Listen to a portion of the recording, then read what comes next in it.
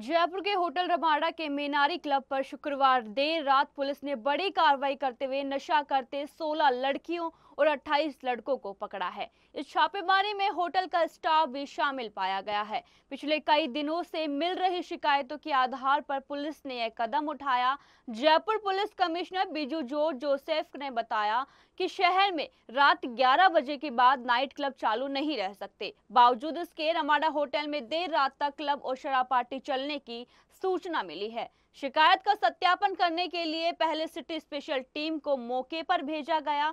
जानकारी सही पाए जाने पर रात ढाई बजे पुलिस ने होटल में रेड की, जो सुबह साढ़े चार बजे तक चली। इस ऑपरेशन को एसीपी प्रोटोकॉल प्रदीप यादव और additional DCP protocol Ranveer Meena के सुपरविजन में अंजाम दिया गया। पंद्रह थानों की पुलिस और पुलिस लाइन से भी फोर्स को बुलाया गया। लोकल थाना आदर्श नगर को पहले से जानकारी नहीं दी गई थी और कार्रवाई के बाद सूचित किया गया था। इसके अलावा पुलिस ने सभी 16 लड़कियों के कोटप्पा एक्ट, यानी नियम के विरुद्ध सिगरेट, हुक्के का इस्तेमाल करना, उनके अंदर चालान काटकर छोड़ दिया गया, जबकि 28 लड़कों को शांति भंग के तहत थाने पर रखा गया। जयपुर पुलिस कमिश्नर के आदेशानुसार शहर में डिस्को, पब, बार रात 11 बजे तक ही संचालित किए जा सकते हैं। देर रात तक संचालन करने पर कार्रवाई की जाएगी। हालाँकि, कुछ बार, पब और होटल को इस नियम में छूट दी गई है। बसरते कि उनका यहाँ पर बजने वाला संगीत की आवाज़ परिसर से बाहर नहीं जानी चाहिए। हुक्का परोसने के लिए भी सख्त नियम बनाए गए।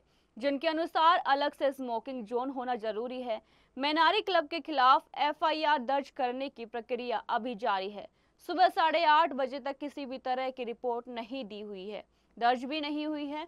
क्लब में डिस्को और शराब पार्टी के दौरान हुक्का परोसा जा रहा था, जो नियमों के खिलाफ है।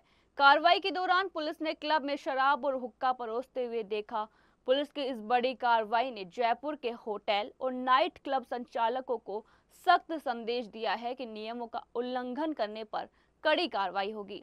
ये छापेमारी शहर में कानून व्यवस्था को बनाए रखने और अवैध गतिविधियों पर नकेल कसने का एक महत्वपूर्ण कदम है।